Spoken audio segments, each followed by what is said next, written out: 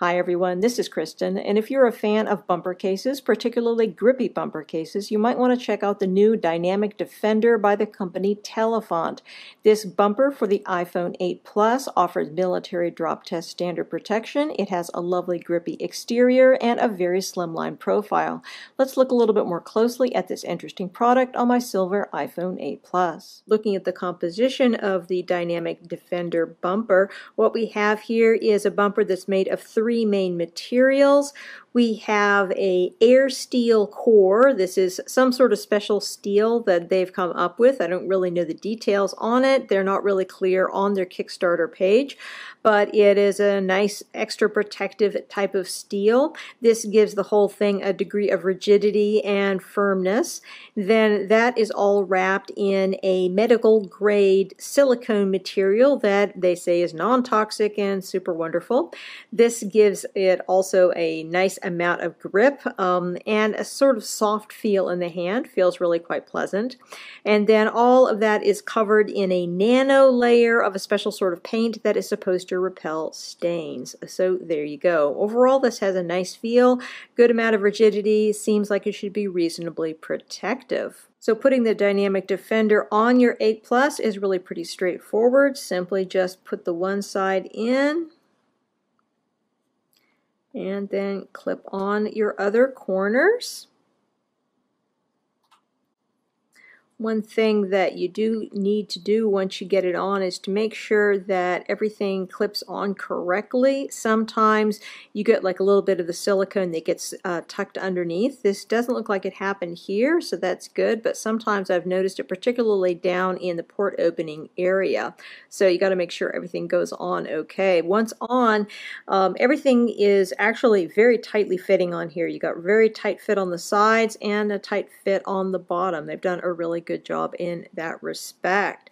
In terms of the amount of lip that we have, we've got a good amount of lip on here, both on the front and on the back, like you'd expect. Bumper cases are supposed to always have a degree of lip on the back as well. Particularly, you want to protect your um, fragile glass back with the iPhone 8 Plus. Keep in mind, I do have a tempered glass screen protector on here. This is the Zagg Glass Plus, for those of you that are curious. Fits just fine with our Dynamic Defender bumper. So looking at our port openings, your speaker and your microphone area are well protected, nicely inset, as is your lightning port opening. Um, this is a pretty small lightning port opening. It's going to fit obviously just fine with your standard lightning cable that comes from Apple, but I think that there are probably a good number of third-party cables that are not going to fit with this because of the size of the opening, so do be aware of that. Going around to the sides, got a great grip on this case. It feels really nice underneath the hands. Definitely doesn't feel slippy at all. Buttons are nice and clicky, no issues there. Our mute switch opening could be larger. Um, it's fine at the bottom and fine on the sides, but it's really kind of tight at the top. So you have to really kind of get your fingernail in there in order to access it. You can um, easily push it up, but uh, getting it into the mute position can take a little bit of finagling. So do be aware of that. And going over here to your power button, no problems there. Going to the back, I think that this looks really beautiful with my silver iPhone 8 Plus. I do like this blue color with it. We do have sufficient protection for the camera, just exactly enough. You're perfectly fine as long as you put this on a flat surface, completely flat surface. It's not going to touch, but obviously if it's a somewhat rough surface, then I definitely would not trust that to be giving sufficient protection for that protruding camera. But as long as you're perfectly flat, you're perfectly fine. So Everything looks great. As I said, we got a nice amount of lip that's protecting the back of your beautiful glass iPhone and everything looks lovely and feels really good with this case. We do have some branding over here for Telephant. That's the name of the company and their little elephant logo. It's really kind of cute. The big question that everyone probably has, or at least a lot of the people that follow my channel might have, is how does this compare with the Rhino Shield bumpers, the Crash Guard and the Mod? Well, I don't have a Crash Guard here with me, but I do have the Mod.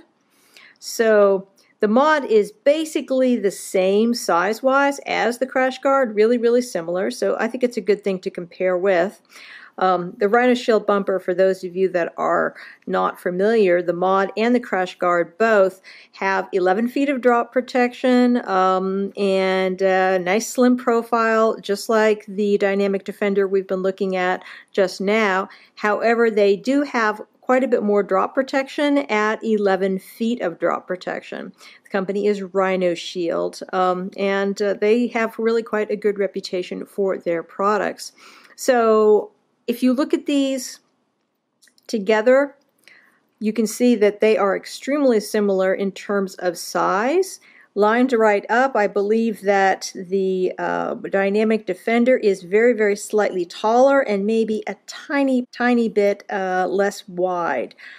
But other than that, I mean, basically, if you just look at them, you'd say that, yeah, it's basically the same size of bumper. So where do they differ? Well, two really important ways. Actually, three, but the two really basic ones are the fact that this has got grip and this doesn't. Um, I love Rhino Shield's products. I think they're absolutely fantastic, but both the mod and the crash guard bumper are on the slippery side in my opinion. And as I keep on mentioning, this Dynamic Defender by Telephant is not, definitely not slippery.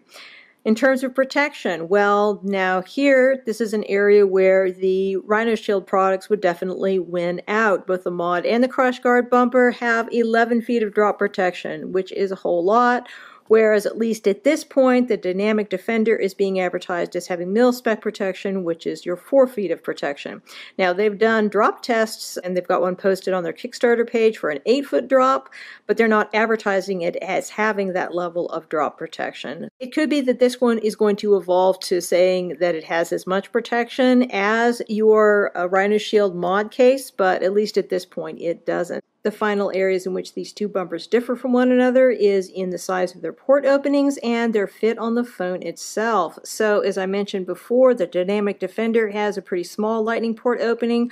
The one that is on the mod is much more generous. Same is true for the mute switch opening, again much smaller on the Dynamic Defender as opposed to the one on the mod. However, one area that I think the Dynamic Defender really shines in is its fit on the phone. So it has a really tight fit on the sides of the phone, as I mentioned before, really, really nice tight fit.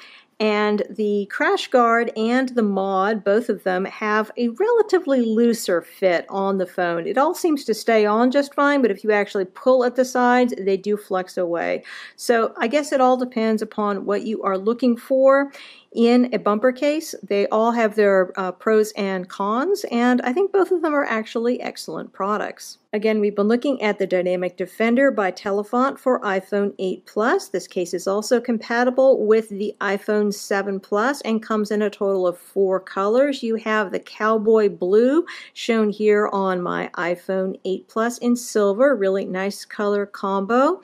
We also have a midnight blue color shown on my iPhone 7 Plus in matte black. Really looks nice with that as well. There's also a dark gray and a rose pink option available. And these are all available on their Kickstarter page right now. The Kickstarter has met its goal, which is great, but there are still some packages available. I think they're starting at about $17 right now. So if you're interested, you might want to go over there and check it out. For those of you that are curious, this case also also will come in an iPhone 7 and 8 version as well as one for the iPhone 10. Many thanks to the kind folks at Telephant for sending me out these samples to review. So if you have any questions, please put them in the comments below and I will do my best to address them. And if you're interested in subscribing, hit that subscribe button because I have a lot more great accessories for iPhone 8 Plus yet to come. Again, this case is the Dynamic Defender for iPhone 8 Plus and iPhone 7 Plus, and I thank you very much for watching watching. This is Kristen. Have a wonderful day.